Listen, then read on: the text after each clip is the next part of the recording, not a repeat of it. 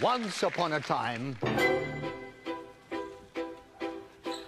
In a far-off kingdom anything. lived a fair maiden, a sad young lad, and a childless baker.